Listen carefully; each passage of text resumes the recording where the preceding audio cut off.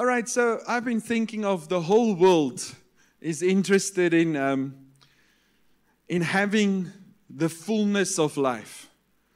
You know, to experience total satisfaction, total uh, fulfillment.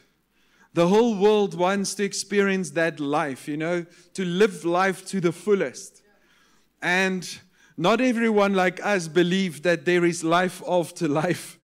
You know, in Christ, that when you live, you live. Even though you die, you live. Not everyone thinks like that. They are just thinking of how can I make the most of my life that I have.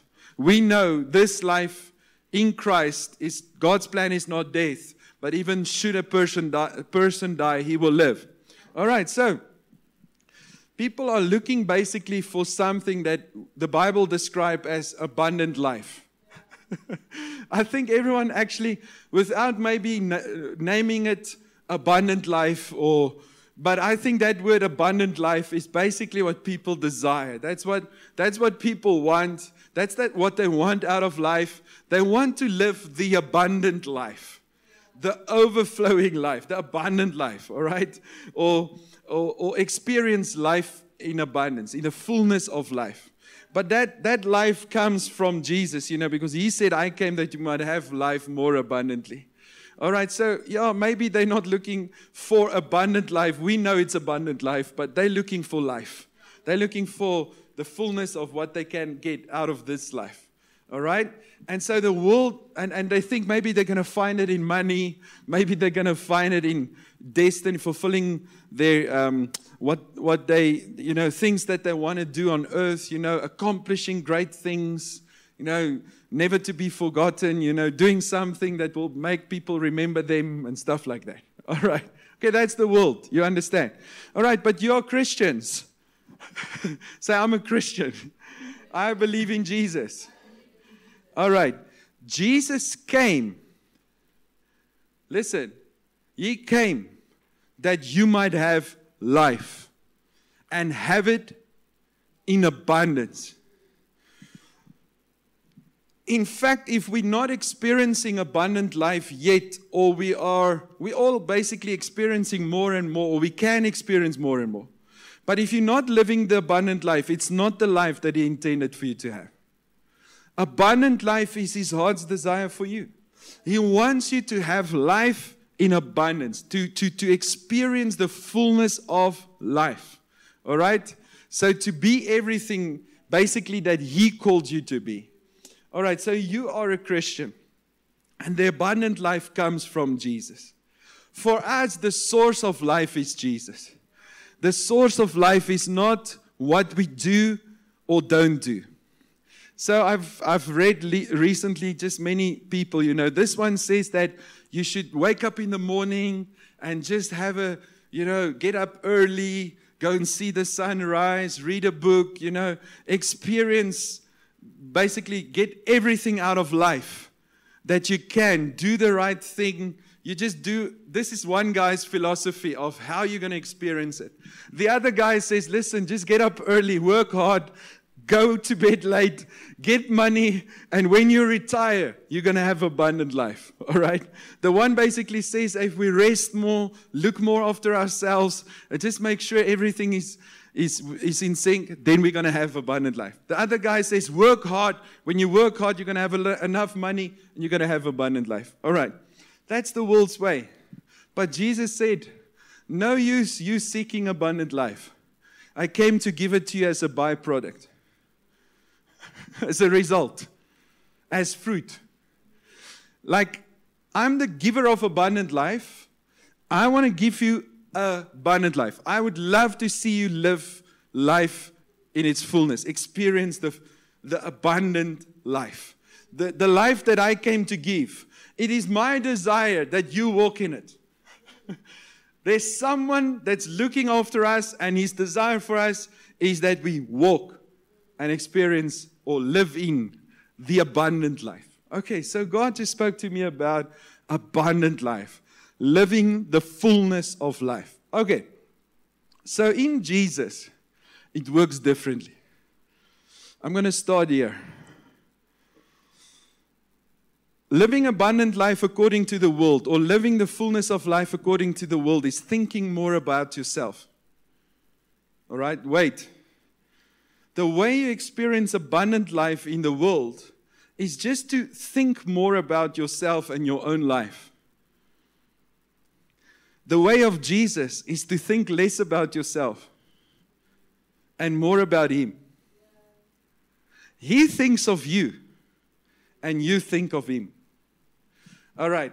The way to abundant life as a Christian basically would not be to try and live abundant life. Basically, abundant life for a Christian is all in knowing Jesus.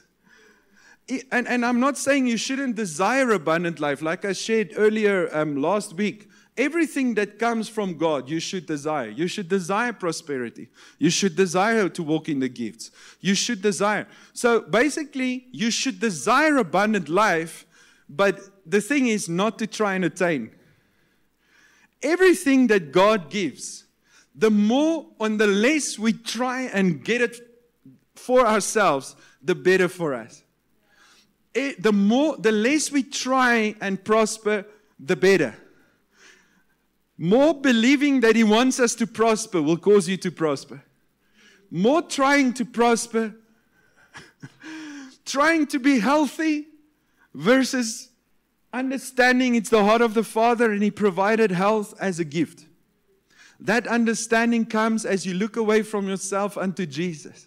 So you find life in your body looking away from yourself unto Jesus. Trying to keep yourself healthy and strong is the exact opposite of living the abundant life. Trying to focus on yourself to try and make yourself happy, strong, fulfilled, blessed is the opposite of the life that God wants you to have. The thing that you're searching for, He wants to give it to you freely, and He wants you to have it freely so that you never think you should earn it, work for it, and try and get it ever again. Not spend a little bit of time trying to, uh, uh, to attain what Christ gave you freely.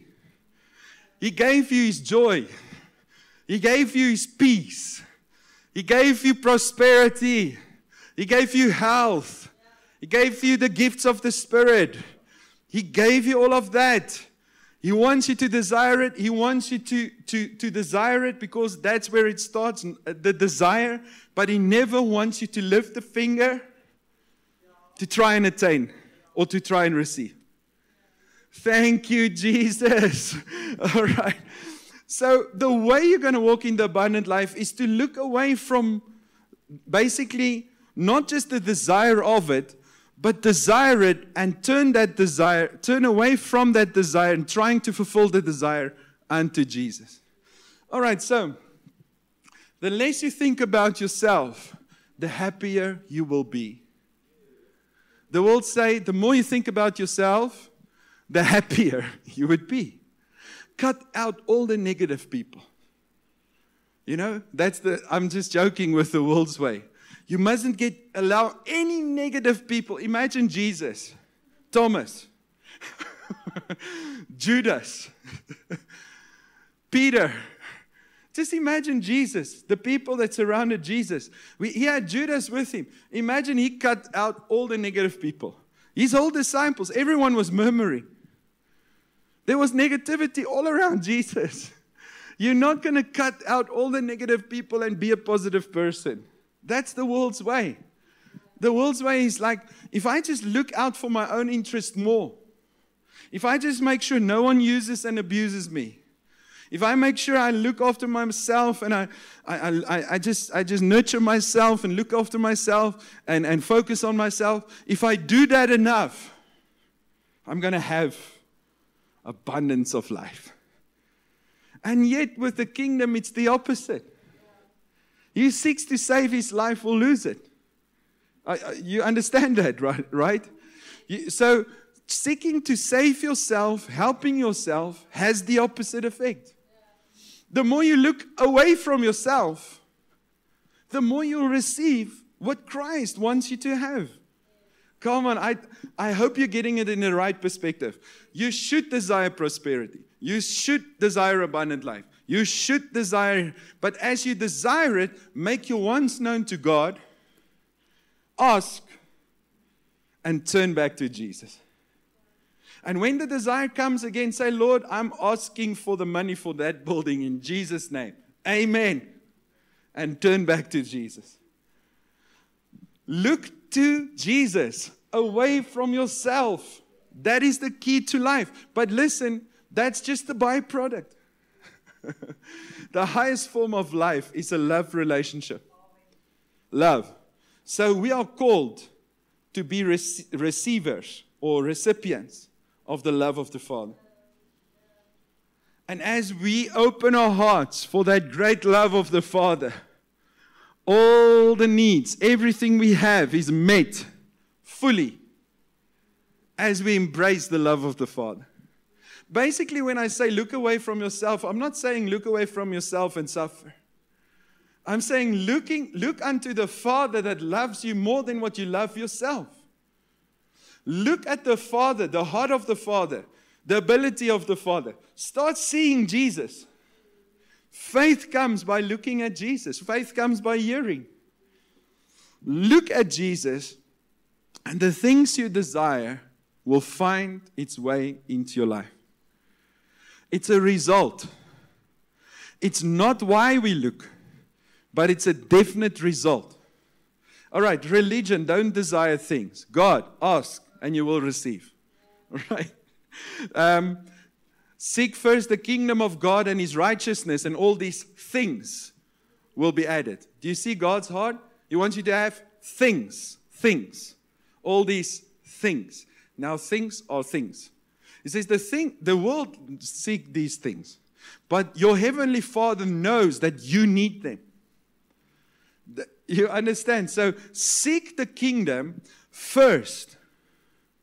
Now, if, we, if you seek the kingdom first, it means there's other desires also. Oh, come on, people.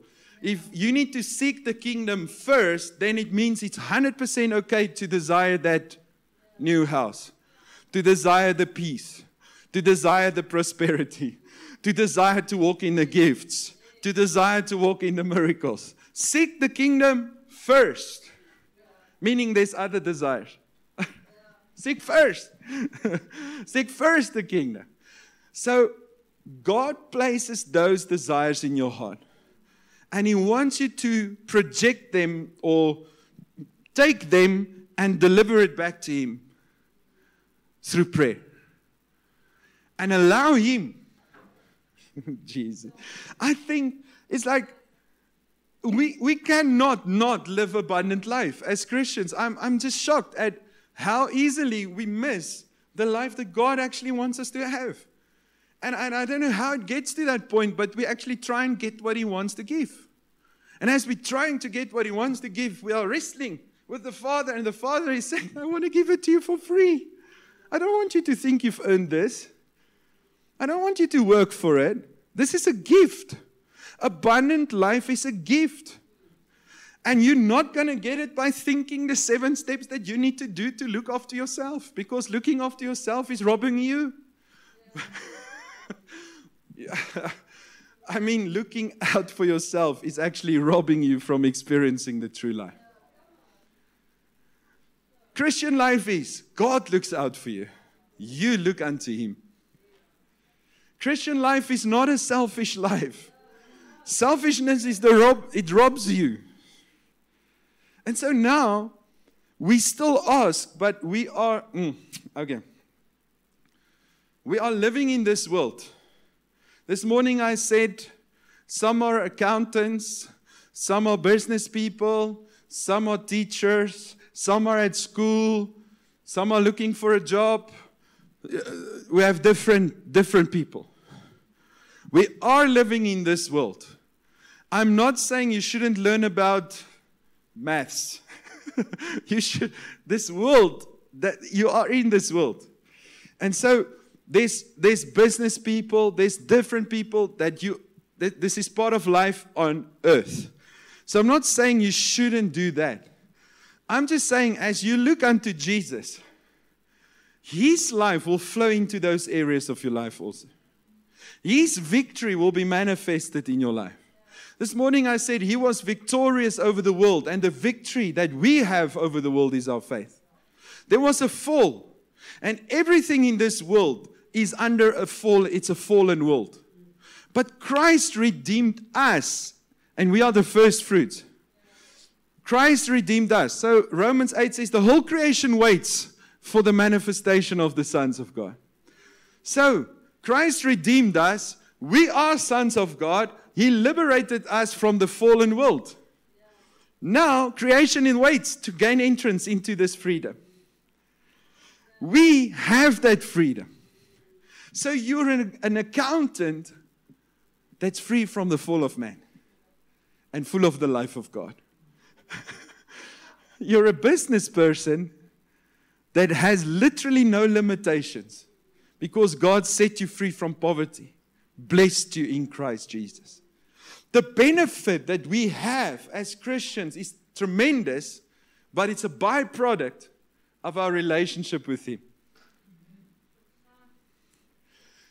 So the wisdom of God is not don't be an accountant, don't be don't have a job. the wisdom of God is trust Jesus, look unto Jesus, away from yourself, trust his wisdom and let it play out in the world that you are living in, where you are operating. Thank you, Jesus. Okay. Hebrews 11, verse 6. But without faith, I'll, I'll just read it out of the New American Standard Bible. Without faith, it is impossible to please Him.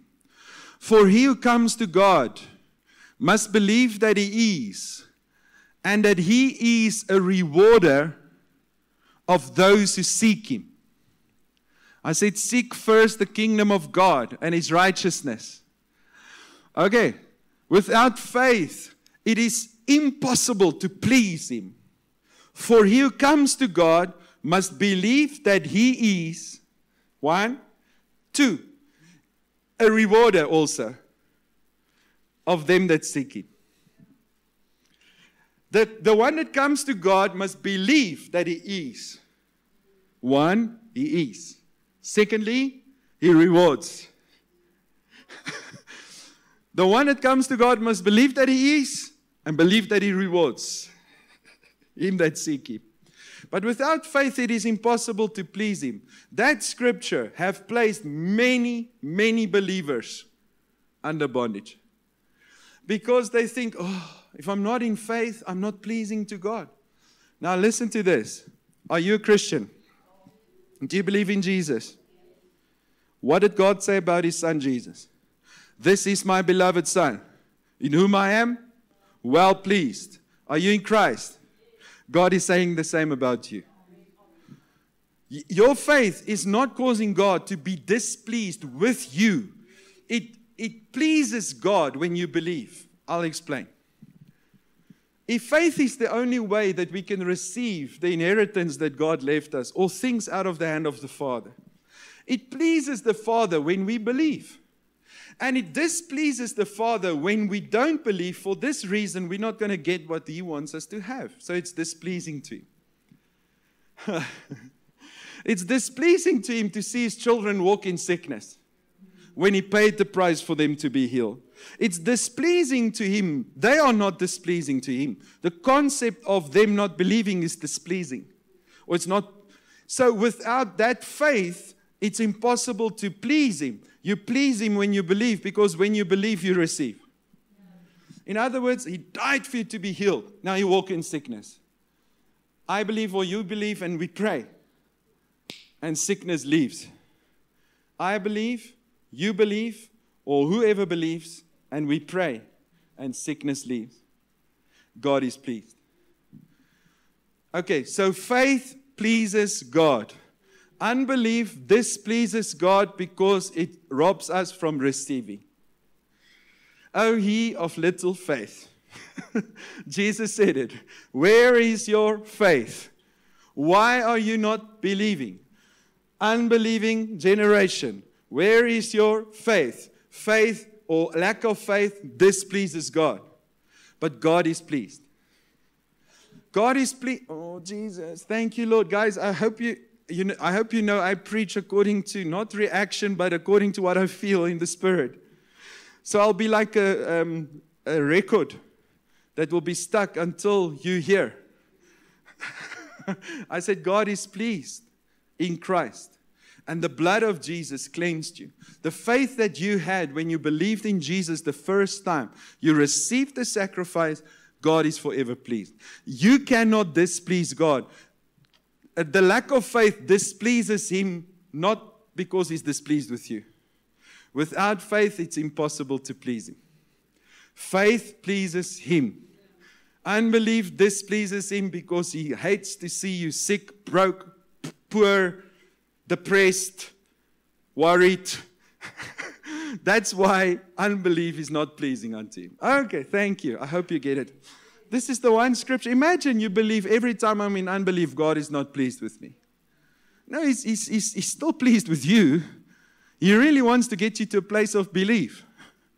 So he's rather working on your faith side than being displeased with you. He loves you. He will never, it will never change. All right, so, uh, okay, now, now, he who comes to God must believe that he is. So, our relationship with Jesus is based on faith. We believe that he is and we have a relationship with him. We pursue relationship with him. We talk with him. We hear him when he speaks. So, abundant life for a Christian is what we've been emphasizing in this house is living from every word proceeds out of the mouth of God. Pastor, I just need to be myself. No, you need to be your real self. Uh, identity crisis is really robbing you. So, so no, you just you not just need to be yourself. You need to be be your real self in Christ, the Christ-like self. Not I'm free, Pastor. I just want to be myself. Yeah, yeah. Be your real self in Christ. Let's see the Christ likeness and the nature of Christ manifested. I just need to be myself. All right. Be your real self in Christ. So, we live in relationship with Jesus by faith. That faith, the first faith that we need, is to believe that He is. All right? That He is. That He's present. That He's here. That He is. And with that faith, we have relationship with Him. Seeing is not believing. Believing is seeing. So we have faith, and by faith, we have a relationship with Jesus, and out of that, we'll start to see. He's the unseen God that loves to manifest Himself, but He can only manifest Himself as people believe. According to your faith, let it be done unto you. By faith, He's the unseen God that loves to manifest Himself. He wants to manifest Himself, but He can only manifest Himself according to your faith in Him. He who comes to God must believe that He is, and needs to believe that He's a rewarder of them that of, of Him that diligently seek Him. You believe that He is, you believe that He's a rewarder. You approach Him by faith. So, Pastor, I want to know if Jesus said He came to give me life and life more abundantly, how will I live that life? Look away from yourself. Don't depend on your own strength. All right. One of the ways that you know you're looking at yourself is when you live in condemnation. I haven't prayed enough. I haven't read the word enough. Even the message I preach put people in condemnation when they look unto themselves. Even though I'm preaching, look unto Jesus, look unto Jesus. I haven't looked unto Jesus lately. So I'm condemned. So where's your eyes? Not on Jesus. your eyes is on you not looking unto Jesus. You not reading the Bible enough. You not praying enough. You never doing enough. so one of the first ways you look away from yourself is actually to stop depending on yourself. And one of the first ways that you see that is you are free from condemnation. Say, free from any form of condemnation. All right. So, when you look unto yourself, you fail as a Christian. Listen, you can't get abundant life by looking at yourself. Because looking unto yourself is causing the condemnation. And whatever you do from that foundation, out of condemnation, is dead works. Now, we don't understand why we, when we try and do certain things, it's not giving the life because the reason we do it is because of condemnation. The motivation is no longer love love for people, love for his kingdom. The motivation became condemnation. I should do more for God. I should read more Bible. I should even look unto Jesus more. I haven't looked unto him. More. Okay, so I'll just make it simple. Condemnation is not that I killed someone and I feel bad. Condemnation is I'm not, I'm not praying in tongues enough. I don't feel spiritual. I feel like I'm not trusting God and I should. I'm in unbelief. I'm, an un, I'm a believer, but I walk in so much unbelief. I feel so bad. so, Marnes, you're not going to work up faith by condemnation and get some faith out of that the condemnation shows you where your trust is and where your eyes are looking. This word is crucial for your life. This is crucial for your life. Out of condemnation, you start to do good things. You start to do better things. You start to change what you do. And out of condemnation, the things that you do is not producing the life that you think it will bring. so we're looking unto yourself. The first red light that you are looking at yourself is condemnation.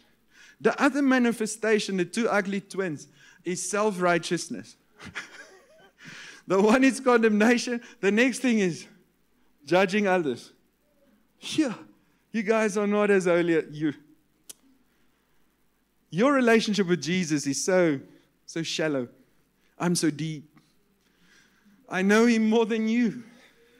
So, self righteousness, co- condemning others for not being where you are. All right? So, self righteousness and condemnation, two ugly twins coming from the same mother. Trusting in yourself, depending on yourself. Looking unto Jesus, the first thing would be to, you know, the messages we've preached in this house. Stop depending on self. The only way you will have freedom, no condemnation, no self righteousness is with your eyes on Jesus. There is no condemnation, but you can experience condemnation as a Christian, but there is none. Romans 8, verse 1 says there's no condemnation. So if you experience even a drop of condemnation anywhere, even through my messages, you feel condemned with what I'm saying because you're not living up to my standard or something. It's not me condemning you. It's your own heart condemning you because you are still depending on yourself, trying to be something. I'm not good enough. I'm super good. Just as bad. I'm not good enough. Well, I'm better than them. that's, that's as bad. Oh, Jesus. Out of away from condemnation unto Jesus, where there now the experience of no condemnation is your portion. The experience of not being self righteous because you've been declared righteous is your portion. Not works righteousness, but faith righteousness. Righteousness by faith. I received it as a gift. Yes, I'm holy and righteous. You are right, but it's a gift. So are you. We are the righteousness of God in Christ Jesus. Abundant life comes when our eyes are on Jesus and we start to believe and see what He did for us and who we are because of what He did. Ah, Jesus. Thank you, Lord. And so now, instead of Marnes trying to work up faith, faith comes by hearing because my eyes are on Jesus. I'm looking at Jesus. I'm depending at Jesus, on Jesus. I'm looking at Jesus. My, my eyes are on Jesus. I basically decide that I live to know Him more. All right. practically, what can you do? Purposefully live to know Jesus more. Have, have that, that purpose. Purposefully live to know Jesus more.